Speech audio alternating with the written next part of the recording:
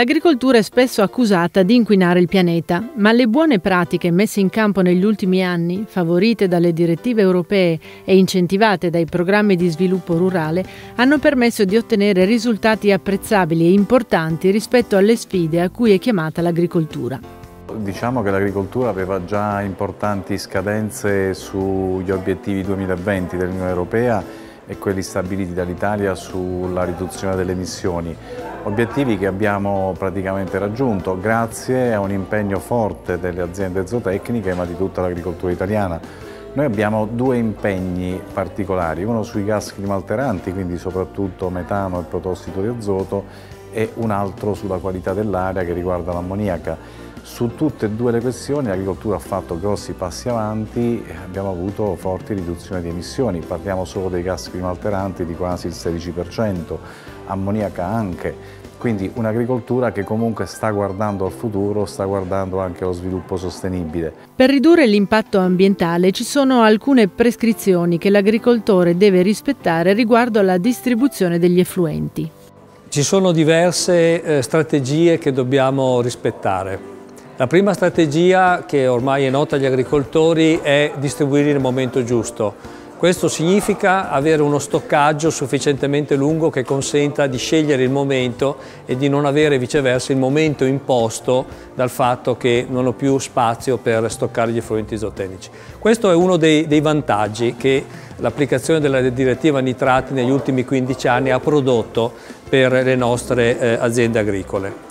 Scelto il momento ottimale, eh, l'altro elemento fondamentale è il quantitativo di effluente che come dicevamo deve essere commisurato al piano di concimazione. Diciamo la, la normativa attuale si sta orientando sulla copertura degli stoccaggi per evitare un'eccessiva emissione di, di, di, ammoniaca. Sappiamo che la, la, copertura degli stoccaggi non è un'operazione eh, molto economica da effettuare, eh, quindi Sicuramente si potrebbe eh, cercare di intervenire su altri aspetti come magari dei sistemi di abbattimento a valle che sono altrettanto onerosi ma eh, comunque meglio implementabili a livello di, di, di allevamento piuttosto che eh, effettuare una copertura di stoccaggi fissa o mobile che comunque comporterebbe diversi ordini di problemi. L'efficienza che viene considerata nell'applicazione delle norme ambientali ehm, può essere ampiamente superata da una buona pratica, una buona pratica che prevede l'interramento il più veloce possibile e là dove è possibile l'interramento deve essere fatto prima delle 24 ore. Si sa che circa il 60% delle emissioni di ammoniaca, che è una delle fonti emissive che dobbiamo ridurre, avvengono eh, entro le 24 ore, per cui bisogna interrare prima.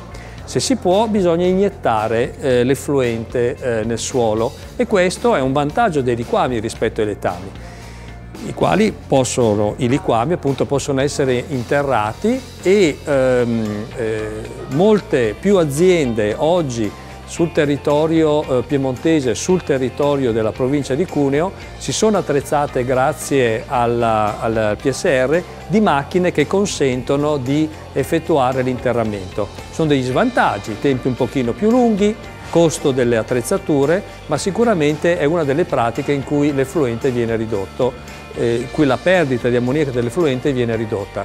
La Regione Piemonte, per contrastare il fenomeno delle emissioni, ha introdotto due misure importanti nel PSR 2014-2020. La prima misura è la 413 che prevede degli investimenti per gli acquisti di botti per lo spandimento dei liquami o dei digestati. Per poter aderire a questa misura queste botti devono avere la caratteristica di poter interrare sia i digestati sia i liquami, con lo scopo di ridurre le emissioni. Accanto a questa misura è stata introdotta anche la misura 10.1.5. È una misura che, nel, che, è stata introdotta nel pacchetto delle misure agroambientali e prevede un contributo per l'interramento del, del digestato che deve essere effettuato al momento della, della sua distribuzione. Sono misure importanti che prevedono un contributo a fondo perduto, il primo sull'acquisto del mezzo, mentre il secondo viene erogato sulle, eh, sulle superfici condotte dall'azienda ed è un premio che viene erogato nell'arco di 5 anni. L'altra eh, strada sulla quale si sta lavorando è quella dell'acidificazione dell'effluente. Se io riduco il pH, acidifico l'effluente, ad esempio aggiungendo acido solforico al momento della somministrazione, io riduco nettamente le perdite di eh, ammoniaca. È sempre però un equilibrio. Se la distribuzione riduce le perdite di ammoniaca, riduce un impatto, aumenta il quantitativo di azoto che entra nel suolo e quindi bisogna poi conteggiare un maggiore quantitativo di azoto a disposizione delle piante, il che è vantaggioso, tra l'altro riequilibra il quantitativo tra azoto e fosforo che io vorrei sempre avere nel suolo più spostato verso l'azoto rispetto al fosforo.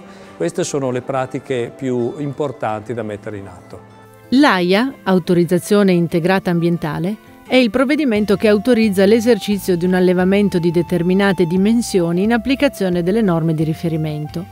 Nella strategia IPPC, Integrated Pollution Prevention and Control, prevenzione e controllo integrato dell'inquinamento, le cosiddette BAT, Best Available Technologies, oppure migliori tecnologie disponibili per quanto riguarda le prestazioni ambientali, determinano gli obblighi degli operatori industriali per la prevenzione e il controllo dell'inquinamento, con l'obiettivo di ottenere e mantenere un elevato livello di protezione dell'ambiente nel suo complesso. Un'AIA, un'autorizzazione integrata ambientale, è quindi concessa a fronte dell'utilizzazione delle BAT nella conduzione dei processi produttivi.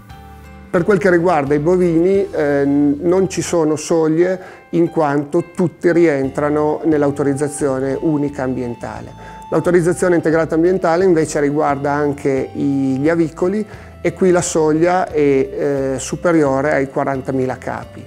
Nella fascia tra 30.000 e 40.000 capi è invece necessario per i broiler ottenere l'autorizzazione unica ambientale soglia che invece va dai 25.000 ai 40.000 per quel che riguarda eh, le ovaiole e i riproduttori da carne. Una questione preoccupante è che soprattutto il settore degli allevamenti in alcuni casi viene circondato da una serie di eh, input negativi, per cui dobbiamo lavorare tantissimo anche col consumatore per far capire come gli allevamenti si stanno modificando, come si stanno modificando le diete mediterranee su cui ancora alcuni prodotti della carne, della filiera della carne, del latte sono importantissimi nella dieta.